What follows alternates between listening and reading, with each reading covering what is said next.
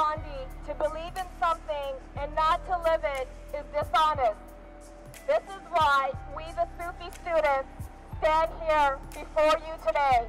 We believe in what our sacred emblem symbolizes, the heart, harmony, balance, peace, love, and everlasting life.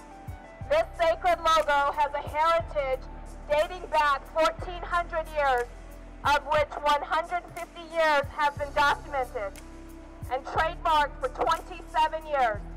Recently, this precious logo has been slightly tweaked and used by designer Roberto Cavalli.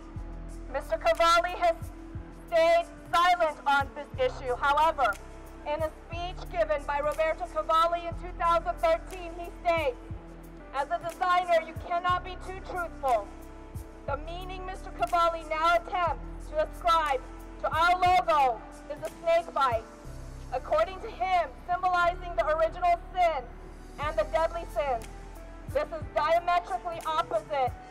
Our sacred logo symbolizes.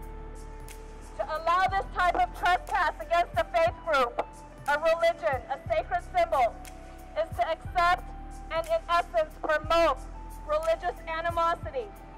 Hillary Clinton in a 2011 speech stated, we've seen governments stand by while certain violence, while sectarian violence inflamed by religious animosities tears communities apart.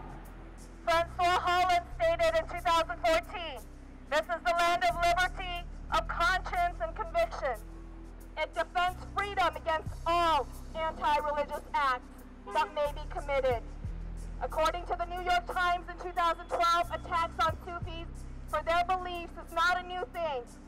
An attack on a religious group does not have to be in form of physical violence. It is often more subtle and effectuated by lack of action to these types of trespass. Unlearning intolerance is in part a matter of legal protection, as stated by Kofi Annan in 2004. Mr. Cavalli has voiced his intolerance by this act of trespass against our faith, this act of trademark infringement against our registered religious emblem. The protection we seek is the community's recognition of this infringement and public support in our attempts to stop Mr. Cavalli from his continued use of our registered logo for commercial gain. States, the right to freedom of religion and to be free from discrimination based on religion is long enshrined in international law. We hope that this message resonates with you and that you too are able to see Mr. Cavalli's infringement on our religious emblem as a form of religious intolerance and discrimination, which should not be tolerated by the community.